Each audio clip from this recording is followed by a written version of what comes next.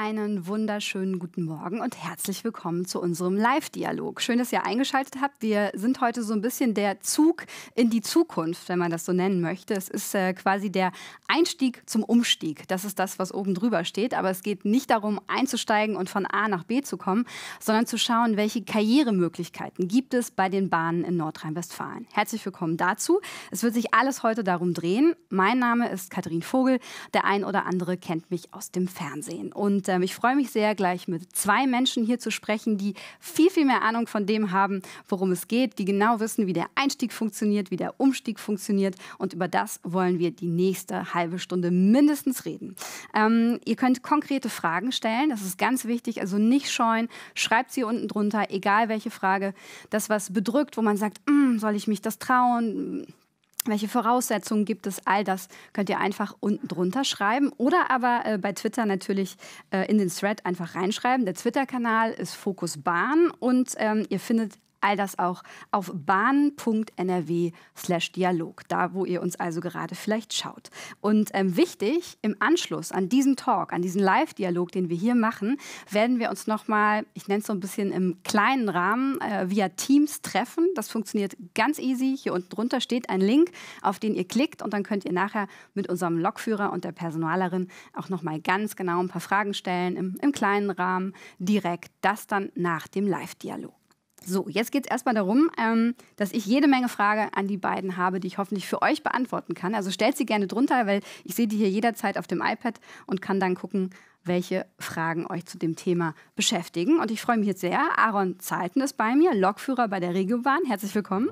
Und Sabine Maywald, äh, du leitest die Abteilung Personal und Ausbildung der Radgruppe. Danke, Hallo. dass ihr zwei euch äh, Zeit genommen habt. Wir sind alle äh, getestet und können mal wieder so schön miteinander direkt sprechen und reden. Es ist äh, einfach ein bisschen einfacher so. Äh, Aaron, du bist, habe ich gelernt, seit November 2020 frischer Lokführer. Ja, Herzlichen stimmt. Glückwunsch.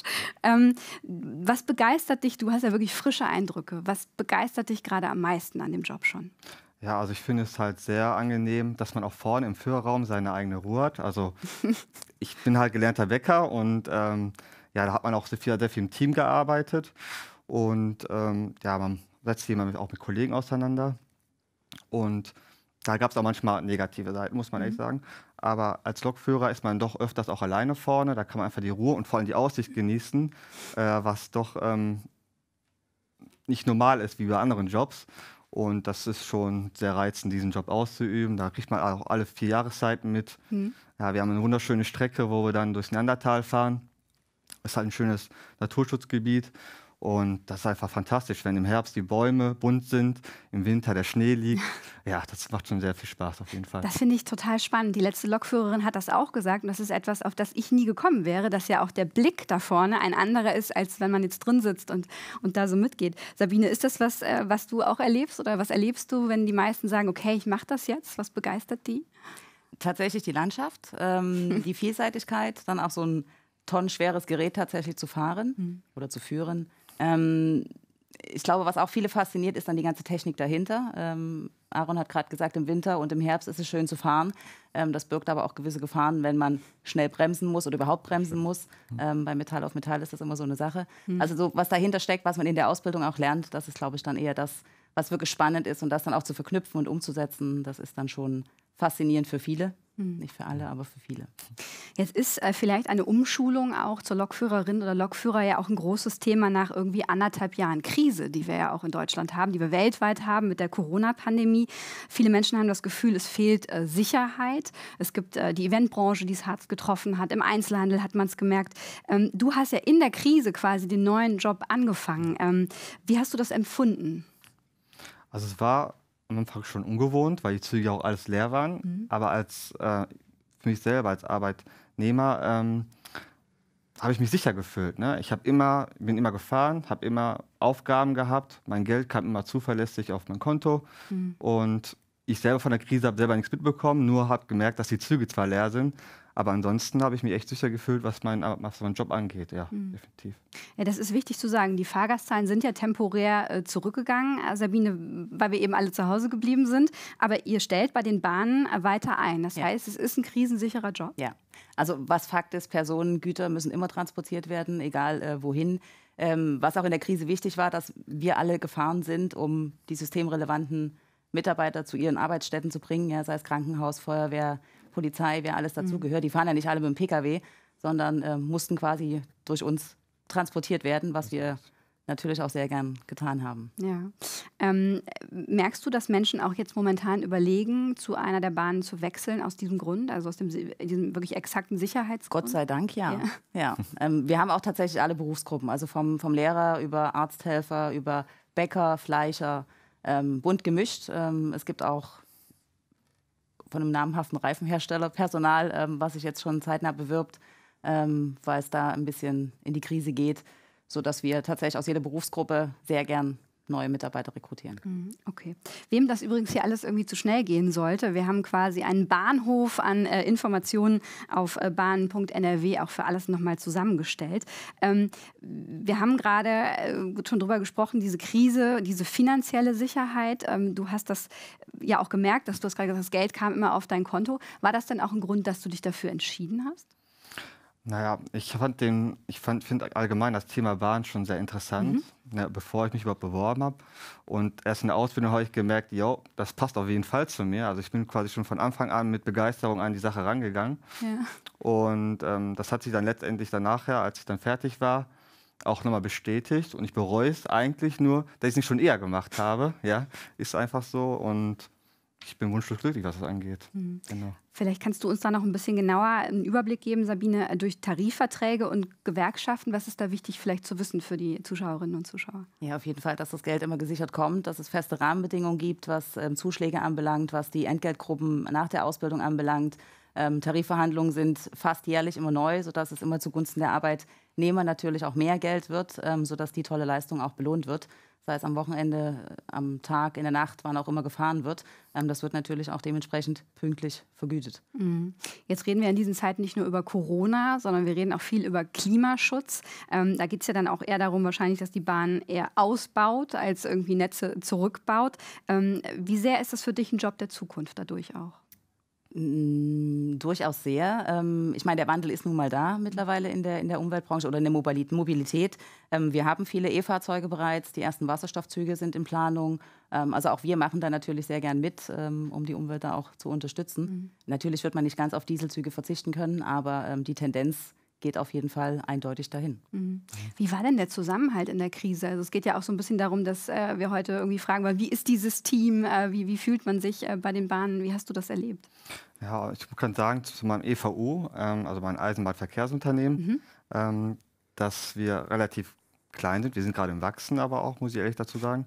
Und daher wird trotzdem der Zusammenhalt richtig groß, muss man sagen. Also das merkt man daran schon, wenn man mal irgendwie nicht kann, weil man sich gerade krank fühlt, mhm. dann fragt man halt seinen Kollegen, könntest du mal vielleicht einspringen? Und dann passiert das in der Regel auch. Das habe ich auch selber schon oft genug gemacht. Und das ist halt immer so ein Geben und Nehmen. Und äh, das macht halt sehr Spaß, also auch Freude daran, ähm, dass man das miterlebt. Ne? Das, mhm ja, motiviert schon. Ist das auch bei den großen Unternehmen so? Man könnte ja denken, also je größer, dann bin ich dann irgendwie eine Nummer und äh, da läuft das einfach nur? Ja, also wir sind ja tatsächlich ein Familienunternehmen vom Ursprung her und das merkt man auch. Ähm, also trotz der knapp 1000 Mitarbeiter, die wir haben, ist trotzdem jeder namentlich bekannt, auch bei der Geschäftsführung. Ähm, die Türen sind auch immer offen, egal ob es bei mir, bei der Geschäftsführung, bei den Bereichsleitern. Ähm, das heißt, wir sind immer alle ansprechbar, die Kollegen unterstützen sich gegenseitig, ähm, die Vorgesetzten helfen, wenn Not am Mann ist, die springen mit ein. Also das ist schon sehr, sehr kollegial und sehr, sehr teamlastig. Ja. Ja. Ist auch dein Eindruck, weil Lokführerinnen ja. und Lokführer werden ja jetzt gesucht. Wir machen das ja heute hier, deswegen. Also, also ich habe ja am Anfang gesagt, ja, man hat seine Ruhe, aber es gibt halt schon Situationen, da muss man sich auf seine Leute auf jeden Fall auch verlassen. Mhm. Und das ist auf jeden Fall gegeben. Also bis jetzt habe ich da echt nichts Negatives erlebt, ehrlich gesagt. Ja. Gut. Ähm, jetzt kommen schon äh, Fragen, die ihr die ganze Zeit äh, stellen könnt. Und äh, die äh, drehen sich alle so ein bisschen auch um, ähm, ich finde, die beste Frage für mich heute, die würde mich nämlich auch beschäftigen. Muss ich gut rechnen können? Klären wir gleich alles. Ähm, äh, Sabine, wir haben ähm, schon ein bisschen über den Beruf gesprochen. Lass uns kurz auf die Voraussetzungen gucken. Wir haben äh, eine Grafik vorbereitet. Da kann man so ein bisschen sehen, wie der Weg ist den man eigentlich ähm, zur Ausbildung hat. Die Voraussetzungen würden wir jetzt mal einblenden. Also zum Thema, genau. Vielleicht magst du das mit uns durchgehen? Ja, sehr gern. Ähm, Grundvoraussetzung ist tatsächlich eine abgeschlossene Schulausbildung ähm, oder Berufsausbildung. Das ist ähm, fast egal. Gute Kenntnis der deutschen Sprache Minimum B2. Also wir haben viele Mitarbeiter oder Bewerber, die Migrationshintergrund haben. Äh, Sprachniveau B1 wäre dann ein bisschen schwer in der Ausbildung, deswegen ist B2 tatsächlich von Vorteil. Äh, Mindestalter von 20 Jahren bei der Abschlussprüfung ist, das ist tatsächlich ganz wichtig, weil sie vorher den ähm, Triebfahrzeugwagen nicht fahren dürfen. Kfz-Führerschein ist auch eine Voraussetzung, weil sie einfach zu verschiedenen Einsatzorten auch müssen, ah, okay. egal bei welchem EVU sie arbeiten. Ähm, oder müssten diesen dann eben auch zeitnah erwerben. Mhm. Während der Ausbildung rate ich persönlich davon ab, weil das einfach dann zu viel ähm, mhm. Input wird. Bereitschaft zum Schichtdienst ist klar. Ähm, die Züge fahren 365 Tage im Jahr, also auch am Wochenende, auch an Feiertagen, auch zum Männertag, wenn die Kumpels ja. feiern gehen, muss Aaron die wahrscheinlich nach Hause fahren. Ähm, Verantwortungsbewusstsein ist ganz wichtig. Ich meine, wir transportieren wertvolle Fracht, wir transportieren Menschen. Ähm, das heißt, man sollte da schon sehr, sehr ähm, verantwortungsbewusst sein. Zuverlässigkeit und Einsatzbereitschaft ist auch logisch. Ähm, wir haben alle das Bestreben, unsere Fahrgäste pünktlich von A nach B mhm. zu bringen. Das heißt, das ist eine große Voraussetzung für unsere Kandidaten. Ist aber, glaube ich, was, was fast jedes Unternehmen eigentlich sagen Richtig, würde. Ne? Wir ja, wollen genau. gerne zuverlässige Mitarbeiterinnen genau. und Mitarbeiter. Wenn wir das gerade noch mal durchgehen, ähm, was heißt Schulausbildung da konkret? Also uns reicht Sekundarschule, Sekundarstufe 1 als mhm. Abschluss. Ähm, präferiert natürlich auch einen Berufsausbildungsabschluss, das muss aber nicht sein. Okay. Wir haben, wenn ich kurz noch unterbrechen ja, darf, ähm, aufgrund der Migranten, die wir natürlich auch gern ähm, ins Unternehmen holen, ist tatsächlich noch zwingend notwendig, dass das Schulzeugnis oder Berufsausbildungszeugnis in Deutschland anerkannt ist. Mhm. Ähm, das ist tatsächlich ganz wichtig, dass es nicht nur übersetzt und beglaubigt ist, sondern wirklich gleichgestellt mit einem Abschluss in Deutschland. Okay, ist aber überhaupt gar kein Hindernisgrund. Nein. Ähm, dann habe ich mich gefragt, aber es ist schon geklärt, weil du hast eine Brille. Brille ja. ist kein Problem. Das geht auf jeden Fall. Ähm, wie genau die Sehstärke jetzt sein muss, weiß ich gerade nicht. Also für die Brille. Ja. Ich habe jetzt beispielsweise, ich habe jetzt hier minus 5 auf meinem Auge und äh, minus 1,5. Aber äh, man macht ja auch beim Betriebsarzt noch einen äh, Sehtest mhm. und ähm, Hörtest, Sehtest, alles. Und ja, das ist auf jeden Fall machbar, mit einer Brille auch zu arbeiten, definitiv. Okay. Dann hattest du gerade angesprochen, äh, Mindestalter äh, war äh, 20 bei Abschluss der Prüfung. Wir haben aber auch viele Fragen in die andere Richtung. Das finde ich ganz spannend. Ähm, also zum Beispiel Werner fragt, macht es denn eigentlich Sinn, sich mit 59 noch zu werben, wenn man sagt, man ist körperlich und geistig topfit? Wo, wo ist da so vom Alter her, wo du sagst, fürs Bewerbungsverfahren kann man machen? Also bei uns gibt es tatsächlich keine Grenze. Ah. Ähm, solange die Tauglichkeit durch die Ärzte dann auch ähm, belegt wird, ist uns das tatsächlich herzlich willkommen. Wir haben Fahrer, die sind 64. Wir haben auch welche, die älter sind, die quasi nebenbei noch fahren. Also wir sind da total offen. Okay, haben wir auch die Frage von Michael Tennissen äh, beantwortet. Der fragte auch via Twitter, zu welchem Alter man sich umschulen kann. Ähm, ich würde aber trotzdem die Frage einmal vorstellen, muss ich gut rechnen können? Ich finde, es ist die beste Frage, weil ich hätte mich das auch gefragt, du hast ja, ja die Ausbildung gemacht. Muss man gut rechnen können? Im Grunde eigentlich nicht, weil man muss nicht viel rechnen. Ähm, es gibt einen sogenannten Bremszettel, da müsste man die Bremshundertstel ausrechnen. Ist es aber auch keine Kunst, weil diese Formel steht quasi auch auf dem Bremszettel schon drauf. Mhm. Ähm, aber in der Regel sind halt Dauerbremszettel schon ausgelegt auf den Fahrzeugen da fällt das alles komplett weg. Soweit. Okay. Ja. Dann äh, fragt äh, Stefan Bartek, ich glaube, es geht in deine Richtung, Sabine, wann und wo kann ich mich eigentlich zum Eignungstest anmelden und äh, muss das vor dem Vorstellungsgespräch passieren? Also wir machen tatsächlich vor dem Vorstellungsgespräch so einen kleinen Eignungstest, um einfach so ein bisschen technisches Verständnis abzufragen, logisches Denken. Ähm, und nach dem Vorstellungstest schicken wir dann quasi unsere Kandidaten zum äh, Betriebsarzt und zum Psychologen und der macht dann nochmal separate Tests, um eben die Tauglichkeit tatsächlich festzulegen. Da geht es dann tatsächlich um, wie, wie Aaron schon gesagt hat, Blutwerte, Sehtest, Hörtest, mhm. ähm, Reaktionsfähigkeit, Konzentrationsfähigkeit. Das übernehmen dann tatsächlich Mediziner ähm, damit wir da auch auf der sicheren Seite sind. Mhm. Was ich noch einen guten Aspekt bin, finde, ist äh, Schichtdienst. Also als Journalistin arbeite ich ja auch mal am Wochenende. Dafür habe ich dann aber Montag, Dienstag auch gerne mal frei. Ja. Jetzt bist du Hardcore als Bäcker. Ne? Also das ist ja wirklich, du bist das, das ganz harte Geschäft gewohnt. Aber ähm, wie, wie, wie guckst du da drauf? Also einfach, weil dieser Job, der körperlich ja nicht viel abverlangt, muss man ja auch dazu sagen, ist man schon, klar, es geht schon ein bisschen in die Substanz, ne, mhm. wenn man halt viele Nachtstunden macht. Mhm. Aber ich finde, es ist auf jeden Fall ähm, aushaltbar. Es gibt definitiv schlimmere Jobs und ähm, man hat auch genug Ruhetage und Zeiten, wo man sich auch mal äh, entspannen kann. Aber es wechselt ja auch, ne? Also Schichtdienst bedeutet, du hast ja nicht, weil du gerade von den Nachtschichten sprichst, es ist also es ist immer im Genau, aber das, man gewöhnt sich auch dran. Also wir mhm. sind ja auch alles Gewohnheitstiere, sag ich mal so. Mhm. Und ähm, das funktioniert. Also ich persönlich habe keine Probleme damit. Mhm. Und ja, man sollte da nicht die Scheu davor haben. Ja, ich denke schon, dass das auf jeden Fall doch machbar ist. Klar. Okay. Ähm, dann hatte man das Gefühl, dass bei, bei manchen Zuschauerinnen und Zuschauern die Frage ist, irgendwie gerade beim Thema Technik, dass Frauen sich so ein bisschen scheuen. Ich finde, das muss man mal aktiv ansprechen. Ist ja auch so ein Klischee, das da irgendwie ja. mitschwingt. Ähm, ist das so? Kannst du da was zu sagen? Jein. Also natürlich wird ein gewisses technisches Verständnis vorausgesetzt. Ähm, das bringen aber größtenteils eigentlich alle Kandidaten mit. Mhm. Und das, was man nicht weiß, wird einem beigebracht im Rahmen der, der theoretischen und praktischen Ausbildung. Ähm, in der Praxis dann noch mehr, was direkt auch am Fahrzeug teilweise dann gezeigt wird.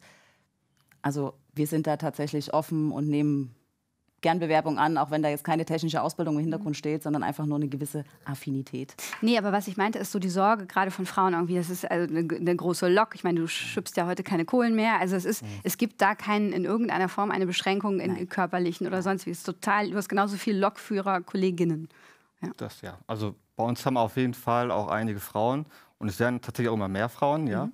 Und ähm, die fahren genauso gut wie die Männer. Also da gibt es keine Unterschiede. Also das können auch gerne Frauen machen. Ja. Okay.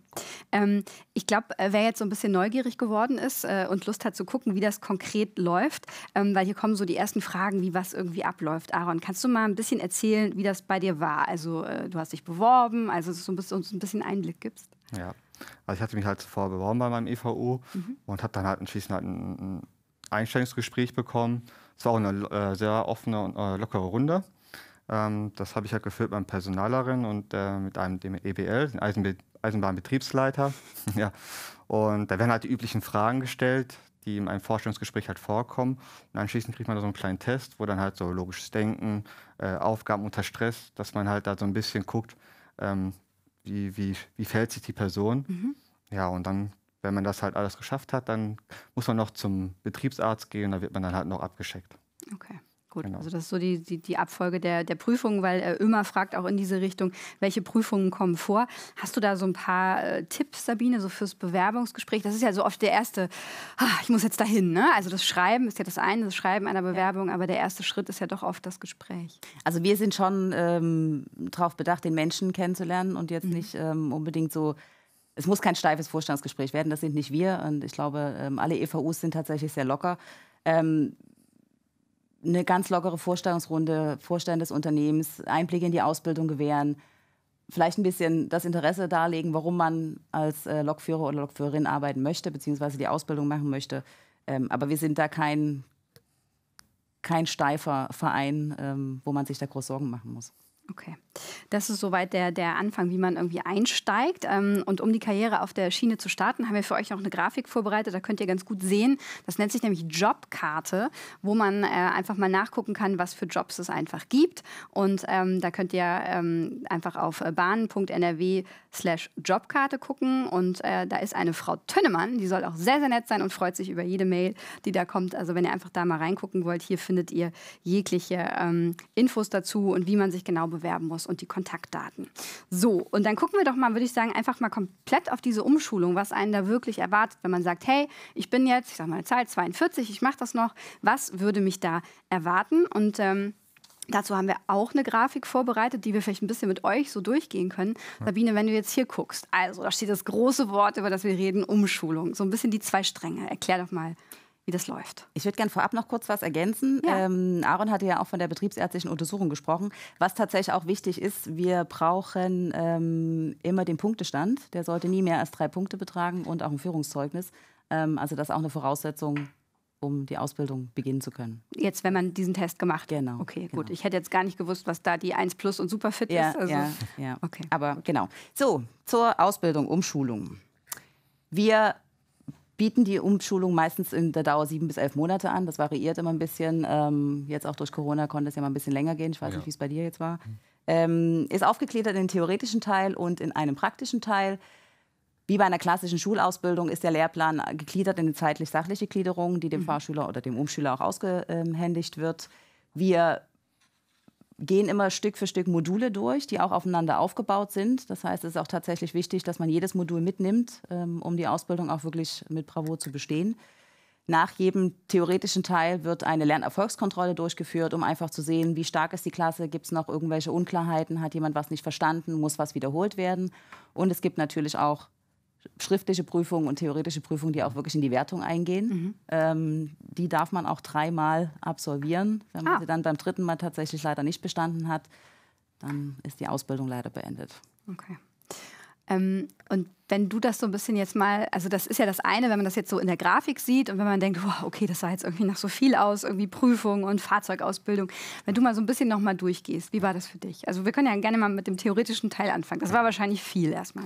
Ja, auf jeden Fall. Also man äh, muss natürlich am Anfang erstmal die ganzen Vorschriften äh, kennenlernen. Mhm. Ne? Und äh, alles, was so Bremse, Bremsvorschriften, dann gibt es halt noch äh, andere Vorschriften, allgemein, ähm, Betriebsdienst. Und ähm, das ist keine hochwissenschaftliche Kunst, das, mhm. zu, das äh, zu lernen. Es ist aber sehr viel Input, was man da bekommt. Und äh, wenn man da, da sollte man schon motiviert sein und auch wirklich jeden Tag dran arbeiten. Weil es kann halt auch sein, man, wie schon gerade erwähnt, muss man da auch diese Prüfung absolvieren pro Modul. Ähm, da gibt es sogenannte BGs, also Betriebsgefahren. Und wenn man da halt mal was falsch schreibt, das, da kann man auch halt 99 Prozent richtig haben. Mhm. Und dann ist man aber auch schon äh, durch. Also man kriegt Definitionen, die sollte man auch wirklich schon auswendig lernen können und auch verstehen vor allem. Mhm. Und dann ist es aber auf jeden Fall machbar. Also viel Ehrgeiz, viel Disziplin, dann schafft man das. Ist das zu indiskret, wenn ich dich frage, ob du, oder ich frage für dein Team, mit dem du das so ja. damals gemacht hast, haben denn da viele diese drei Male gebraucht oder? Ähm, es kommt öfters vor, dass halt mal einer durchfällt, aber man sollte da sich ähm, nicht aus der Ruhe bringen lassen. Mhm. Das ist ja schon recht normal, sagen wir es mal. Aber man schafft es. Also es ist machbar, definitiv. Mhm. Und danach den praktischen Teil, ist das so, dass man sagt, ah ja, jetzt endlich irgendwie auch mal in die Praxis? Oder ja. wie war das? Also wenn man dann die Theorie hinter sich hat, ähm, wird man ja in die Praxis entlassen. Mhm. Und ähm, da ist man auf jeden Fall sehr stolz auf sich dann, dass man das hinter sich hat, weil das schon Knüppel ist, äh, was man da geschafft hat. Ja, und dann spielt sich das auf jeden Fall auch als ein. Dann schafft man, wenn man die Theorie geschafft hat, schafft man auch die Praxis definitiv, keine mhm. Frage. Ja. Und ich stelle mir das so vor, dass am Anfang irgendwie, jetzt hatten wir noch den Punkt Fahrtraining, dass äh, du nicht alleine schon äh, durch Nordrhein-Westfalen und die Welt gefahren bist, sondern dass jemand dabei ist. Also du hast gesagt, du bist gerne alleine in deinem Führerhaus, ja. aber... Ähm man bekommt auf jeden Fall auch den Einblick in der Ausbildung, auch schon im theoretischen Teil, dass man halt ähm, vorne im Führerraum mit einem ausgelernten Triebfahrzeugführer fahren kann. Ja. Und das hilft auch ungemein dabei, das Theoretische auch besser zu verstehen, wenn man es einfach in der Praxis schon gesehen hat kann ich nur jedem empfehlen, auch mal bei seinem EVO nachzufragen, ob man einfach mal vorne mitfahren darf. Ah. Es hilft einfach sehr. Ja. ja. Okay. Ähm, ist das was, äh, Sabine, was du merkst, dass die, dass die Leute schon sagen, boah, ich meine, das ist ja, Autofahren ist das eine, da bin ich aber ja nur für mich verantwortlich und das ist ja schon eine Nummer, wenn du weißt, du hast irgendwie richtig viele Personen im Zug, du bist, das ist eine ganz andere Verantwortung, dass die, die Leute da schon anders drauf gucken, auch ja. mit, mit Respekt. Ja, sollte man tatsächlich auch. Ähm, es ist wie gesagt ein tonnenschweres Fahrzeug, was mhm. auch viel äh, Schaden anrichten könnte. Aber genau deswegen ist die Ausbildung auch so intensiv. Also auch gerade in der praktischen Fa Phase ähm, ist ähnlich wie ein Pkw-Führerschein. Man fährt mit seinem Fahrlehrer zusammen, also nicht alleine.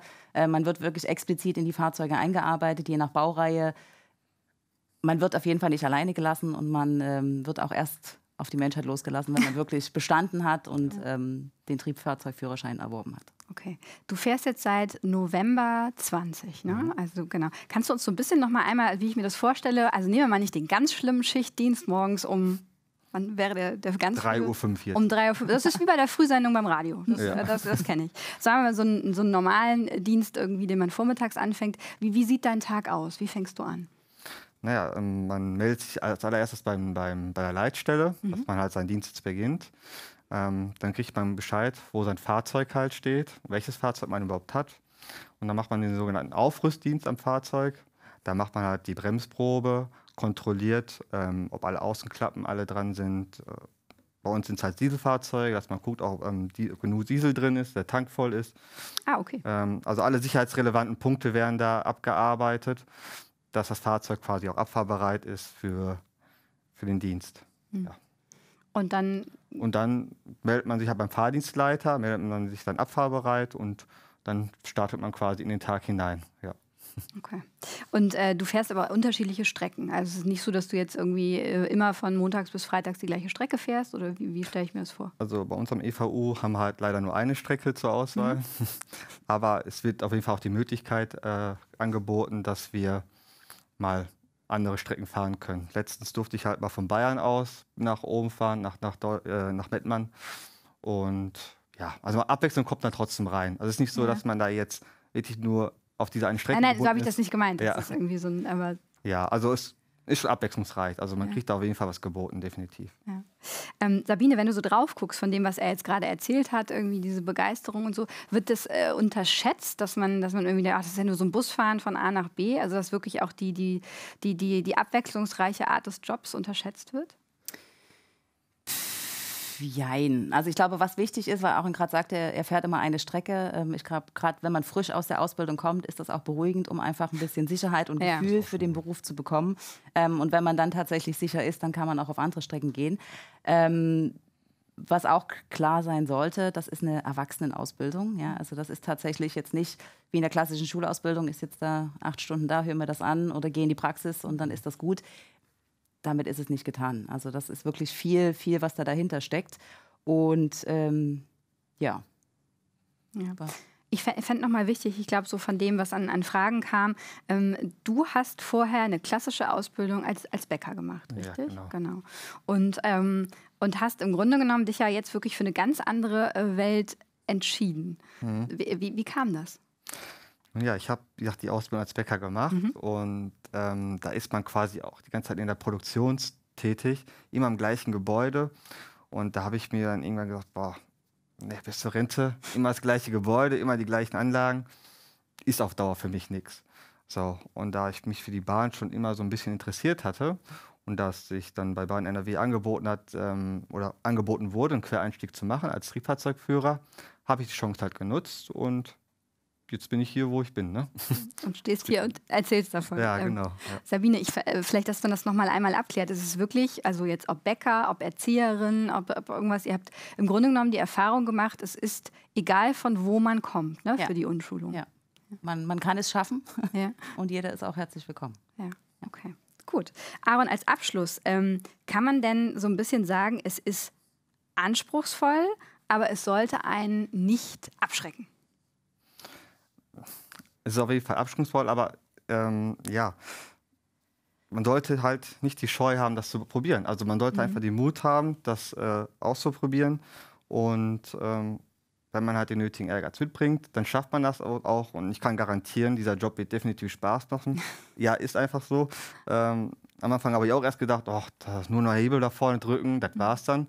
Ist nicht, nein. Also da sind immer wieder Situationen, die dann irgendwo ja, diesen Beruf so spannend machen, ne? dass dann halt immer was anderes dabei ist. Und äh, ich kann es einfach nur empfehlen, das zu machen, auszuprobieren und zu machen, ja. Man hat ein bisschen das Gefühl bei ihm, er ist auch so ein bisschen sein eigener Chef geworden, Ja. oder? So, wenn du das gerade.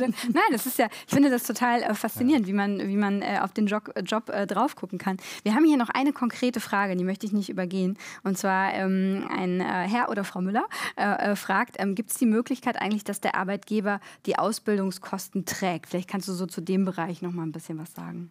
Also wir haben tatsächlich die Möglichkeit, ähm, ich kann jetzt nur für meinen EVU sprechen, ähm, natürlich gibt es einmal die Option über Bildungsgutschein durch die Agenturen für Arbeit, aber auch, dass das Unternehmen die Ausbildung finanziert. Das heißt, wir tragen dann die Ausbildungskosten, zahlen eine Ausbildungsvergütung nach Tarifvertrag ähm, und dann geht es nach der Ausbildung weiter mit einem unbefristeten Arbeitsvertrag. Okay.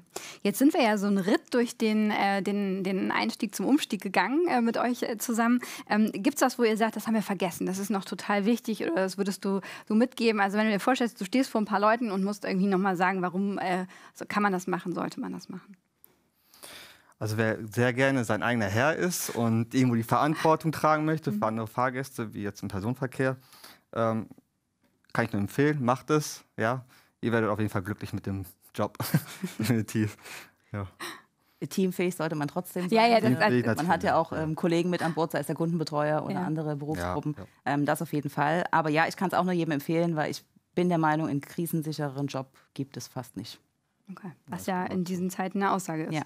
Gut. Danke euch beiden bis hierhin. Ähm, das nehmen wir mit. Und wenn äh, ihr nochmal Infos zur Bewerbung äh, generell braucht, die findet ihr alle natürlich im Netz. bahn.nrw.de ist da äh, der Hinweis. Und äh, nochmal der Hinweis auf die Jobkarte. Vielleicht können wir die auch gleich nochmal zeigen. Auch da gibt es wirklich alle aktuellen Stellen zur Umschulung in Nordrhein-Westfalen auf einen Blick zu sehen. Genau, da ist es www.bahn.nrw slash Jobkarte ist da dann der Weg dahin. Und ähm, wenn das alles zu schnell war, dann habt ihr natürlich die Chance, auch nachher nochmal im Netz auf bahn.nrw slash Dialog äh, nachzugucken. Da kann man alles hier in Ruhe, die Begeisterung von Aaron und die Tipps von Sabine äh, in Ruhe nochmal durchklicken und anschauen. Und wir sagen ja nicht so richtig Tschüss jetzt hier an dieser Stelle, weil ähm, es geht gleich weiter. Wir wechseln nur quasi den Ort und äh, sind etwas äh, kleiner und ähm, privater unterwegs, so würde ich es sagen. Es gibt den Teams-Link, den ihr ja hier unten findet. Und da bleiben wir drei drin. Und manchmal hat man ja Fragen, Fragen, die man vielleicht nicht so